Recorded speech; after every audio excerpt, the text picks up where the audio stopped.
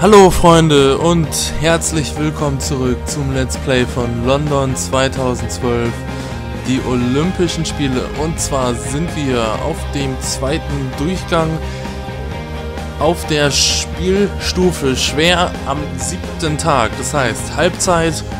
Und wir werfen einen kurzen Blick auf den aktuellen Medaillenspiegel.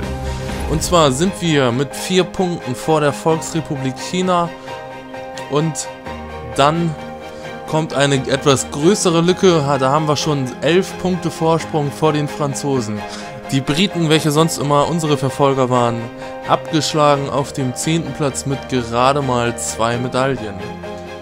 So, wir werfen mal einen Blick auf die Disziplin, was wir heute so haben und wollen uns natürlich gerade auch die neuen Disziplinen, die wir noch nicht gemacht haben in dem Let's Play, in den ersten beiden Durchgängen, wollen wir uns mal anschauen. Da sehe ich jetzt gerade ja, ich denke mal, ich bin mir gar nicht so sicher. Ich glaube, Kunstspringen hatten wir das schon mal.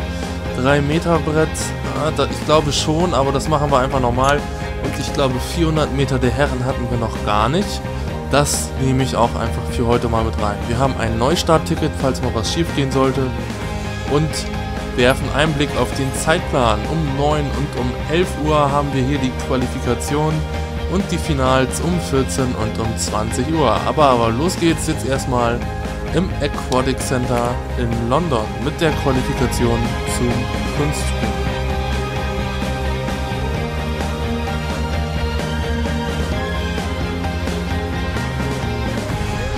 So, da sind wir im Aquatic Center. 3 Meter Kunstspringen der Herren, die Qualifikation. Also die, ja, Turmspringen ist wirklich super schwer. Also die Konkurrenz ist da gerade im Finale richtig, richtig hart. Das ist immer gar nicht so einfach, also da mitzuhalten. Wir gucken mal, ob wir die Qualifikation schaffen. Aber fürs Finale eine Medaille wird schon wirklich sehr, sehr schwer werden. Ich denke mal, wir nehmen hier mal 2,5 mal vorwärts gehechtet. Mit einer mittleren Schwierigkeitsstufe. Und schauen einfach mal, wie weit wir hier in der Quali kommen. Los geht's.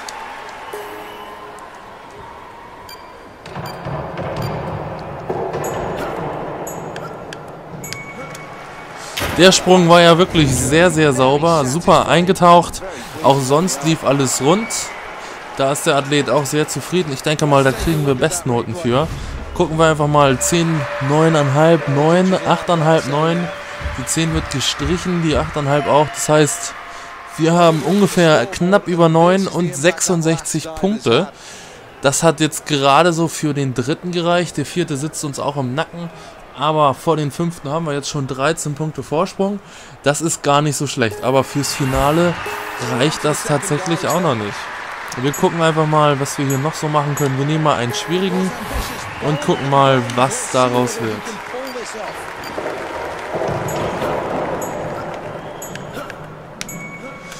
Ja, der, die Durchführung war ganz gut. Am Ende nicht ganz gerade gewesen beim Eintauchen, aber ich denke mal, ja, das gibt zwar Abzüge, aber ich denke mal, das sollte noch überschaubar sein. Ja, die, die Schwierigkeit bleibt bei 3,5 und die Noten so um die 5, 6 rum. Ja, das ist nicht, nicht so schlimm, da wir ja eine relativ hohe Schwierigkeit hatten, verlieren wir nicht mal Punkte auf den dritten Platz, sondern machen sogar noch einen gut. Das heißt jetzt 14 Punkte Vorsprung. Hätten wir den jetzt noch besser gemacht, dann wäre noch richtig was bei rausgekommen. Aber da haben wir ja immer noch die Möglichkeit zu. Jetzt erstmal der dritte Sprung. Ich denke mal, wir nehmen hier nochmal Faktor 3,0, den zweieinhalbfachen Auerbach gehechtet. Und los.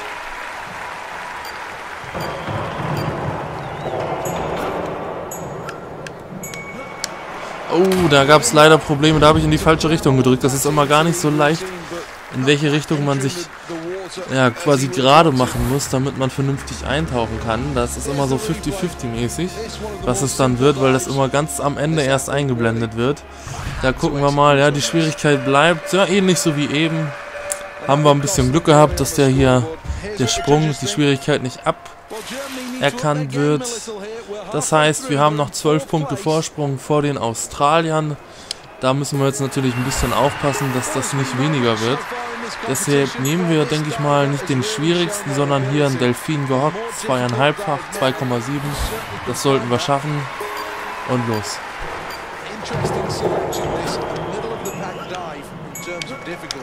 Und jawohl, der war ganz vernünftig.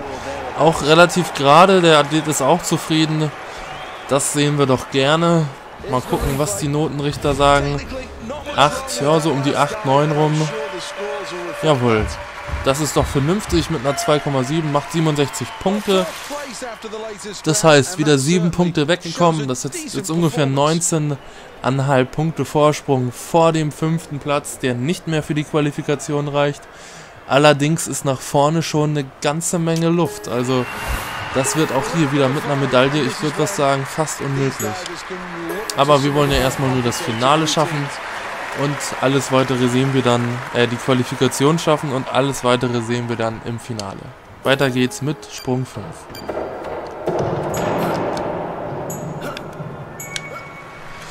Der war eigentlich recht sauber, auch die Eintauchphase hat funktioniert. Das sollte wieder recht gute Noten geben. Die Schwierigkeit war ja auch relativ hoch. Und schauen wir mal auf die Noten, was wir da haben. 9, ja. Damit lässt sich leben. Also das wäre fürs Finale wirklich sehr gut. 89 Punkte, das ist bisher mit Abstand der beste Sprung von uns. Da sind wir jetzt eigentlich auch fast sicher qualifiziert, wenn wir jetzt nicht noch irgendwie einen Bock reißen. Deshalb würde ich sagen, gehen wir hier ein bisschen auf Nummer sicher, nehmen hier Schwierigkeit 2,4 und machen den jetzt sicher noch einmal zum Finaleinzug. Ah, da ein bisschen wieder Probleme bei der Eintauchphase. Aber ich denke mal, wir hatten so viel Vorsprung, dass das jetzt klappen sollte. 2,4, die Noten wieder so um die 5. Ja, eine 7 hier, das, die wird gestrichen. Ja, um die 5,5 rum. Und damit haben wir den vierten Platz, der uns zur Qualifikation berechtigt. Da gucken wir nochmal einmal kurz auf das Ergebnis. 38, ja, das war natürlich sehr schwach. Aber die Australier waren nicht wirklich viel besser. Von daher gehen wir verdient als vierter Platz ins Finale und schalten jetzt erstmal ins Olympiastadion zur Qualifikation einer neuen Disziplin und zwar die 400 Meter der Herren.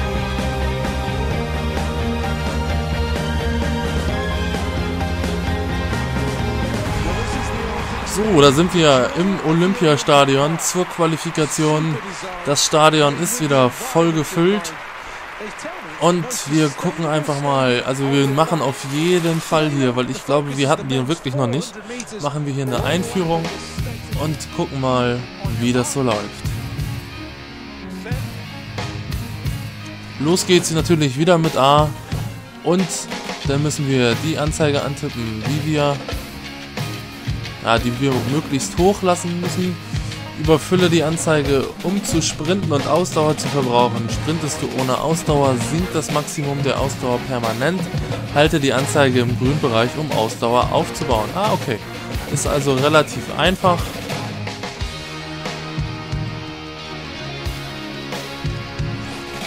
So, und dann am Ende natürlich möglichst sprinten und nach vorne hechten.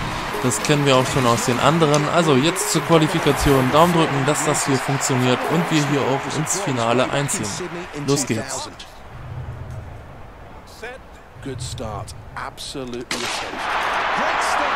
Ein vernünftiger Start. Ja, der Brite hier links, der zieht zwar schon ganz gut an uns vorbei, aber da können wir auf jeden Fall noch kontern am Ende, denke ich mal. Also die Konkurrenz zieht hier schon ganz schön weg. Da müssen wir jetzt mal gucken, dass wir hier ein bisschen Boden gut machen. Also ein bisschen ist ja auch noch. Fünfter Platz aktuell, den vierten, den wollen wir schon haben. Den haben wir jetzt auch. Jetzt heißt es wirklich dranbleiben an den vierten. Na komm, der gibt ganz schön Gas. Vielleicht können wir hier den Briten noch überholen. Das kann eng werden, aber jetzt ziehen wir noch mal ein bisschen an. Und jawohl, vierter Platz, das hat gut funktioniert. Da wäre sogar auch noch der dritte drin gewesen, denke ich mal. In der Mitte eine kleine Schwächephase. 47 Sekunden, ja, das ist nicht die beste Zeit, aber vierter Platz reicht auch hier für die Qualifikation. Ich kann nicht versprechen, dass es zur Medaille reicht. Das kommt auch ein bisschen auf die Konkurrenz dann drauf an. Aber das hat so gesehen eigentlich ganz gut funktioniert. Heute zwei Finals, die werden wir jetzt auch machen. Und zwar geht es jetzt wieder ins Aquatic Center zum Finale im Kunstspringen der Herren.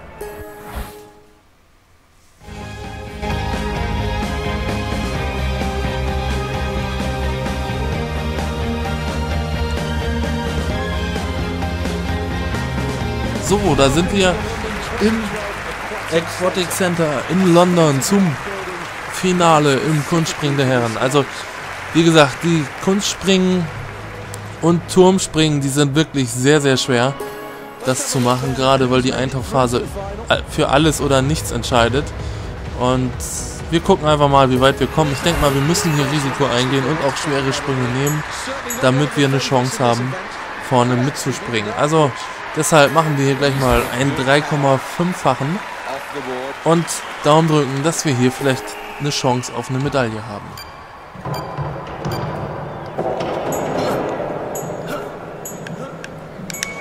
Ja, das war jetzt nicht optimal. Wie gesagt, wieder die Eintauchphase nicht so gut. Dann gucken wir mal. Ja, der Athlet ist nicht zufrieden. Das wird wahrscheinlich wieder nur Noten bei 5, 6 rumgeben. Mal gucken. Ah, 7,5, 6, 6, 8. Ja, da können wir uns, denke ich mal, mit 6,5 dreimal können wir uns wohl zufrieden geben. Damit haben wir 54 Punkte. Das ist, obwohl wir den am, ja, ein bisschen verhunzt haben, ist das noch okay. Da haben wir noch ein bisschen 14 Punkte nach oben. Das ist machbar. Aber jetzt machen wir hier mal richtig harte Sprünge und hoffen, dass wir da den einen oder anderen sehr gut rüberkriegen. Weiter geht's.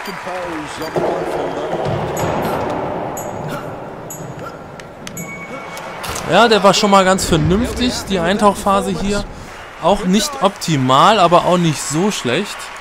Der Kollege freut sich auf jeden Fall. Und jetzt bin ich mal wirklich gespannt, weil die Schwierigkeit, das war der zweitschwierigste Sprung in diesem Block.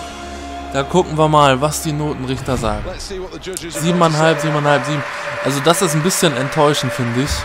Da habe ich mir jetzt wirklich mehr ausgerechnet. 78 Punkte, das ist zwar okay, aber wir verlieren wieder weiter zu dem Mexikaner. Verlieren wir Boden, auch zu den Chinesen, die hier vorne sind. Sind ja unsere härtesten Konkurrenten aktuell. Jetzt müssen wir hier ein bisschen Risiko gehen, um aufzuholen. Dann nehmen wir mal den schwersten Sprung hier, den Auerbach gehechtet und gucken, ob wir den ins Wasser kriegen.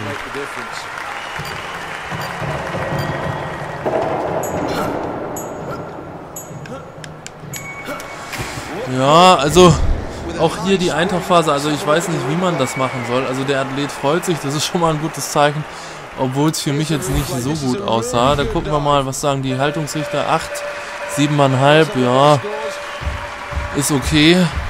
Damit sind wir bei 85 Punkten, aber auch hier verlieren wir wieder Boden. Also das ist schon echt ganz schön hart hier, was die Konkurrenz abzieht. Also hier müssen wir jetzt auf jeden Fall wieder den die höchste Schwierigkeit nehmen und gucken, ob wir hier mal richtig Spitzennoten kriegen. Ja, hier auch wieder, wie man sieht, man hat kaum Zeit, sich gerade zu machen. Also der Athlet freut sich wieder, aber ich denke mal, es wird wieder so Noten um die 7,5 bis 8 geben. Und die helfen uns leider wirklich nicht weiter. Ja, genau so ist es. Das macht 76 Punkte. Na, da verlieren wir auch wieder. Also 30 Punkte Rückstand jetzt schon. Obwohl wir gar nicht so schlechte Ergebnisse erzielen. Aber jetzt gucken wir mal. Jetzt müssen wir hier wirklich mal Randale machen.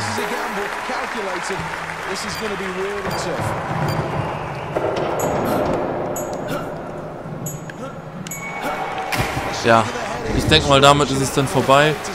Schöner Bauchklatscher am Ende, also da war wirklich wieder kaum Zeit. Da sehen wir es, ja, 6, ja, 5, 5,5 sind wir sogar fast noch ganz gut aufgehoben.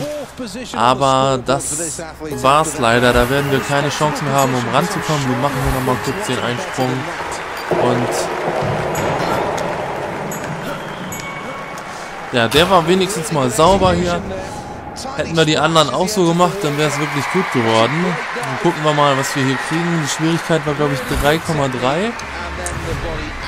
Und 10, 10, 9, 9. Ja, warum nicht früher so? Dreimal die 10. 99 Punkte. Ah, schade, dass die nicht vorher gekommen sind, aber was will man machen? Und, boah, jetzt muss ich nochmal kurz was gucken.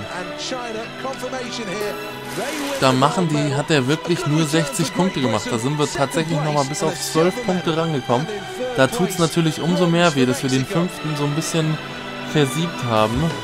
Na gut, aber die Konkurrenz war deutlich besser. Die Chinesen holen hier Gold, sind wieder bis auf einen Punkt ran. Da müssen wir jetzt ein bisschen aufpassen in Zukunft, was wir machen.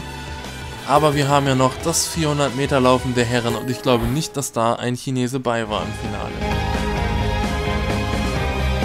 Aber das sehen wir jetzt gleich, wenn es wieder heißt im Olympiastadion Finale im 400 Meter Lauf der Herren. Wir schauen einmal auf die Startliste. Doch, ein Chinese ist dabei, direkt neben uns.